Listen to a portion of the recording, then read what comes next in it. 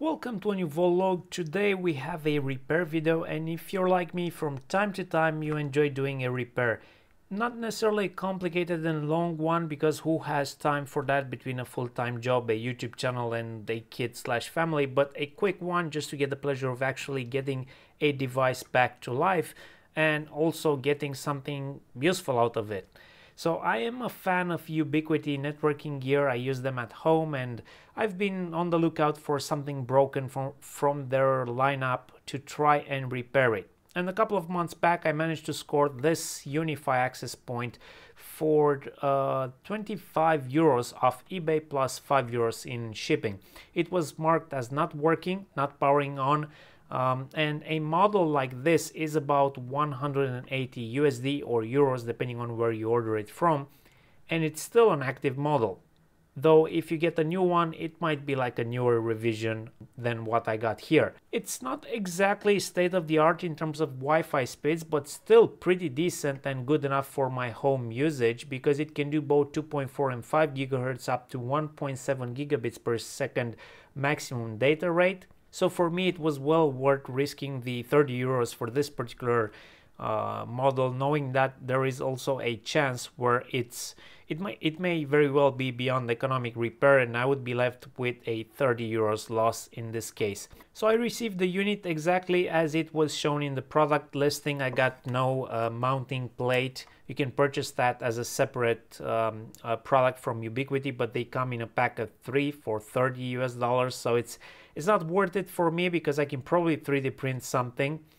Uh, the unit on the back uh, looks like this. We notice this is the Nano HD model. It does have some markings uh, that say 304, the blue marker. That was probably the room it was it was placed in. WSS, I don't know uh, what that means. It also says DEF here, uh, which might be short from defect.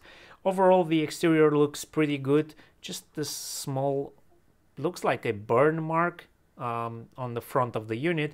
I can probably clean this up and, and fix it. Uh, one aspect I was particularly interested in is the RJ45 connector and it looks to be in very good condition. It's not mangled or anything like that, which is a good sign.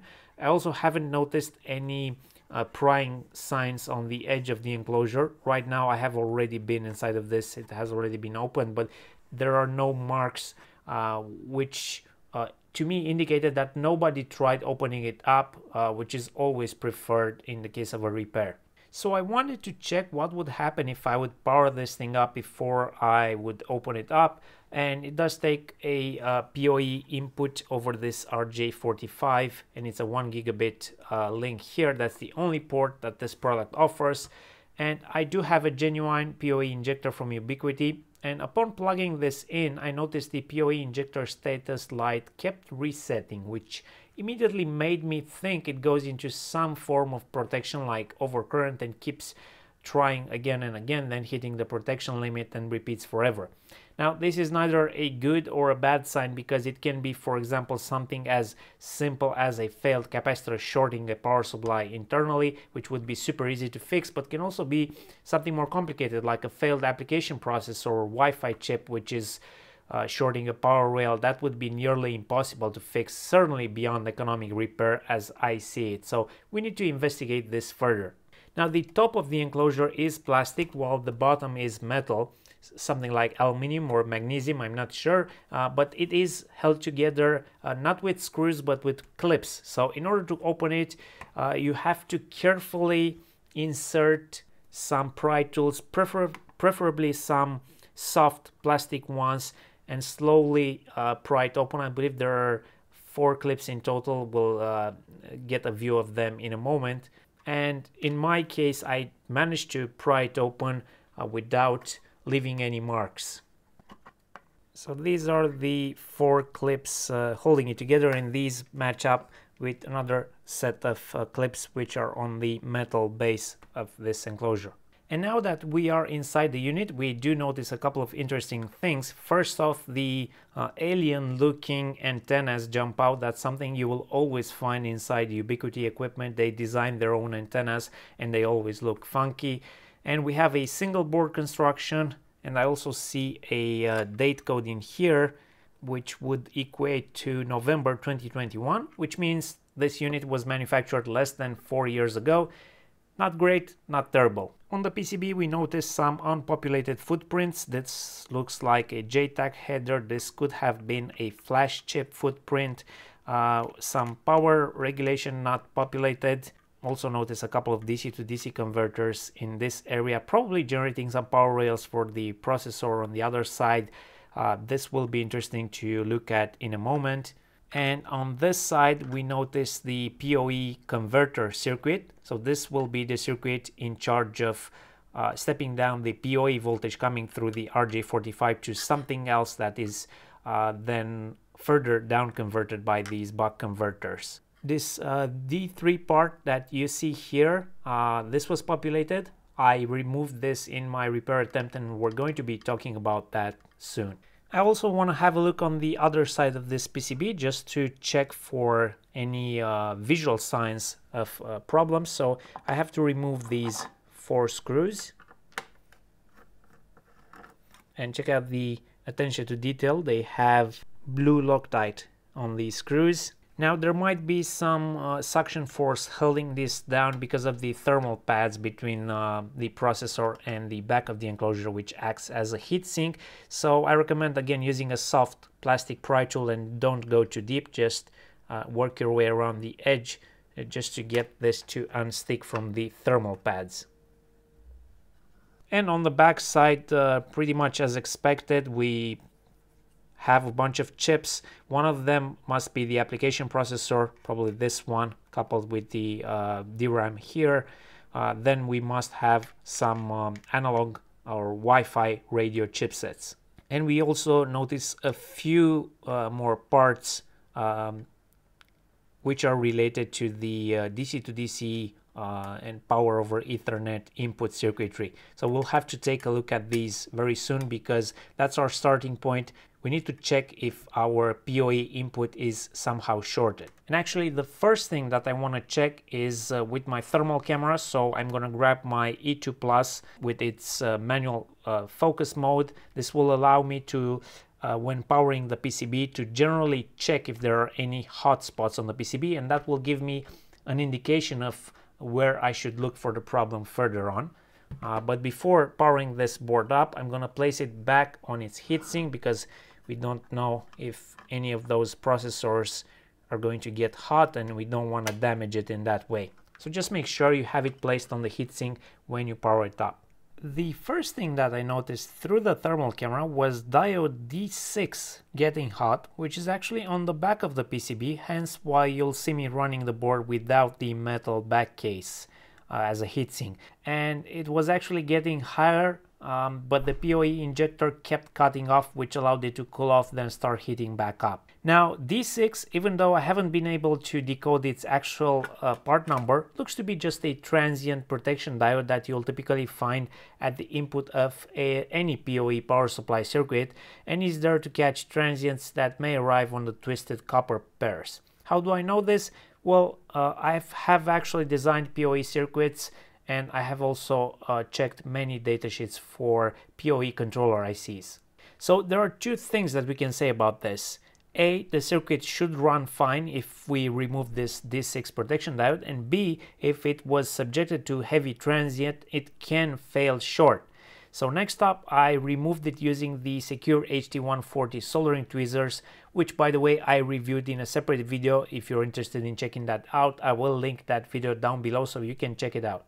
Now, plugging power back in with D6 removed, the injector was no longer resetting, which is already an improvement, but the access point showed no signs of life. Looking through the thermal camera, we notice another hotspot, which is the PoE controller IC, uh, has is marked as U3 on the PCB.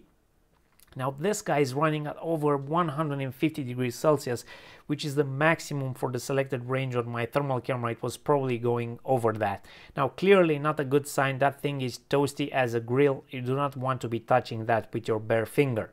Now at this point I checked the part number on the IC and this appears to be an uh, LM5071 and inside the datasheet of this guy uh, we have some application example schematics which will help us understand our device under test better. because typically when someone designs a PCB, they tend to follow the recommended application schematic. And I think this particular schematic from the datasheet fits our actual application, minus the auxiliary power circuitry, which is not present on ours. So I think the D6 diode that was getting hot on our board is this guy in the reference schematic. This is a 58 volt rated TVS diode in charge of protecting the input from transients. Now this starts to make more sense because the equipment might have seen some heavy transients which damaged that TVS diode that was supposed to clamp uh, the input and then eventually the transients reached the input of the LM5071 controller IC and damaged that too potentially. But in order to double check that the rest of this PCB, the rest of the circuit is actually functional, I can entirely bypass this PoE power circuitry and just feed power directly at the output of the PoE circuitry. But what voltage might that be? Could it be stepping down to 12 volts? But what if it's stepping down to 5 volts and then doing further regulation? Well, through some careful reverse engineering, I looked at the flyback uh, transformer part number uh, they were using here on the PCB. I checked the uh, output capacitor uh, voltage rating, which was, you know, 6.3 volts, so it couldn't have been 12 volts. I also checked, you know, feedback resistors that this IC is using. I correlated everything and figured out that the PoE circuit is likely stepping down to 5 volts. But even knowing that with the PoE controller IC potentially shorting stuff, even if I would inject 5 volts at the output of the circuit, it could still be pulled to ground. So I thought a quick fix for that is just to remove the rectifier diode from the output of the transformer uh, which is this guy in the reference schematic, to effectively isolate the PoE output from the downstream 5 volt rail.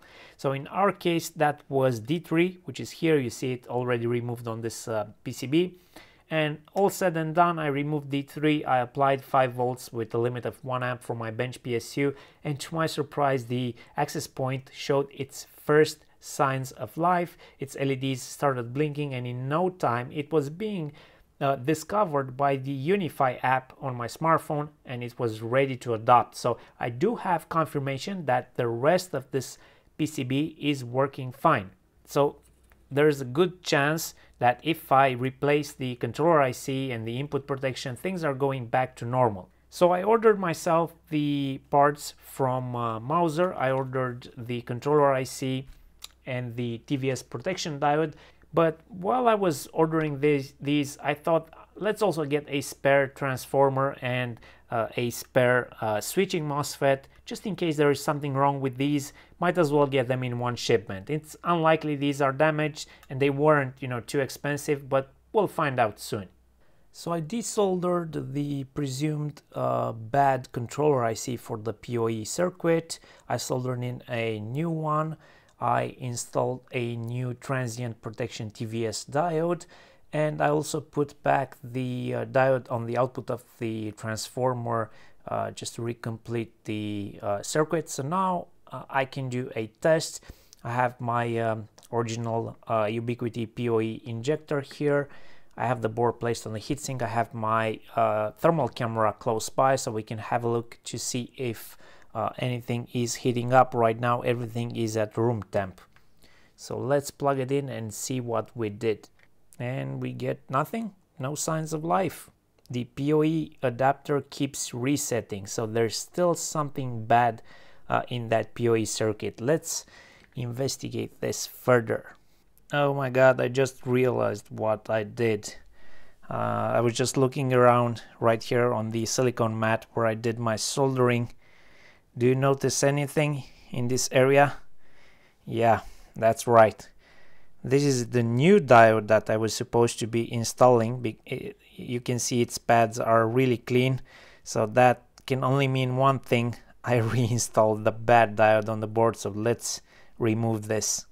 Okay, so this is take two. Now with the good uh, TVS diode installed, let's plug this in. Hopefully it will all go fine this time we see stable uh, power draw 3.5 watts and we got a light turning on yep it should now be showing up in the uh, UniFi app let me quickly check that And it does. Yes, it's alive. It seems like the access point is alive now. I also have my uh, multimeter in here. Let's do a quick check of the uh, output voltage on our PoE circuit. And we have 5.09 volts, which is very good and stable. So things are looking good now. So I think we can call this a successful repair. The system is up and running and is detected by the UniFi app and the network controller. The voltage at the output of the PoE circuit is a stable 5 volts and the temperatures are within expected ranges, no dangerous hotspots. And the total cost for this repair was $3.50, which includes the controller IC plus the TVS diode purchased from Mouser. I got free shipping on this uh, parts order because there was more parts added to this order uh, for other projects which raised the total over the free shipping threshold so I just got myself an access point worth 180 US dollars for less than $40 total cost, including the repair. I would say that's a pretty good deal, especially considering how much I enjoyed troubleshooting and eventually repairing it. I would also be interested in uh, reading your comments down below. Let me know maybe how you feel about repairs, if you agree with me, or maybe what was your last repaired item. Thank you for watching and I'll see you next time. Now, just a quick note slash rant. If we go to the Texas Instruments website for the LM5071, which is the PoE controller IC that we just uh, replaced, well, we noticed that it has an input voltage of maximum 60 volts, and if we check its datasheet, it's uh, well working voltage up to 60 volts and absolute maximum up to 80 volts. But if we take a look at it, this webpage on the uh, Texas Instruments website, we scroll down a little bit, they say, hey, there's a new device you might be interested in, which has similar functionality. And what is this device improving? Well, it provides more robust protection from unexpected voltage transients rated to 100 volts. And if we go to the datasheet of this new device, what's the first feature they advertised? Enhanced ESD write-through capability.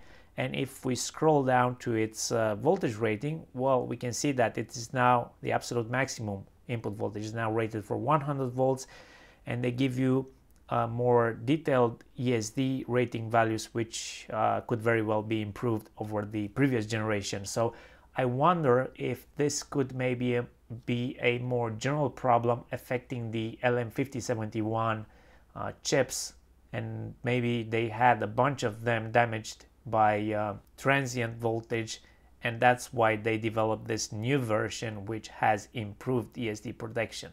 What are your thoughts? Let me know in the comments below.